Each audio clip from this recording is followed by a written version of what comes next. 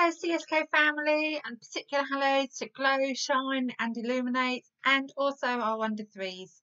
It's that time of the week again when I just let you know what you're going to need for our children and family slot this coming Sunday. So I'm looking forward to joining you at 10.30 this coming Sunday after Sunday worship which will be at 10 o'clock.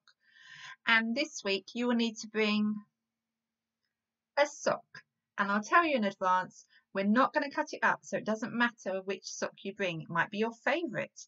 It might be one that's been hanging around in the house for ages and you just don't know where the other one is.